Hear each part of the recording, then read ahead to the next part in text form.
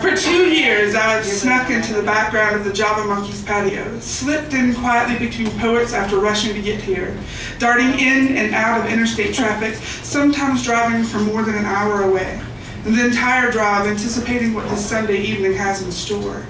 And when I sink into the coziness of a metal folding chair, amidst the congregation that is gathered, I am surrounded by like-minded individuals and realize this is my church.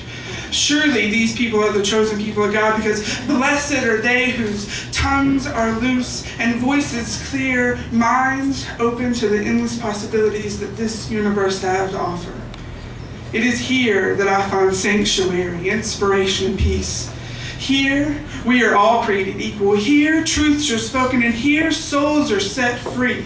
Each person, in turn, given the chance to stand at this pulpit and share their own belief. I have witnessed healings take place before my very eyes. I have seen hurt and pain well up in throats, crest on eyelids, and crash onto the sea of people who hang onto every word. I have watched anger build, crescendo, and then dissipate into the thin air. I have heard voices as sweet as angels tickle the eardrums of her captivated audience. Heard men whose bravado of bass boomed so brazenly he could have been beating me in the chest. And from the crowd, snaps and claps, hoops and hollers descend upon the poet as he or she gives his or her own life's testimony.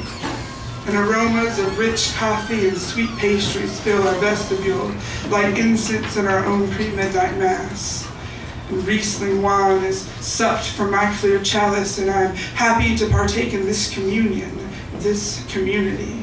Happy, belly full, soul sated, my thirst for creativity quenched once again for another week. The evening comes to a close, and brothers and sisters of the spoken word offer one another uplifting praise. And as quietly as I arrived, I depart.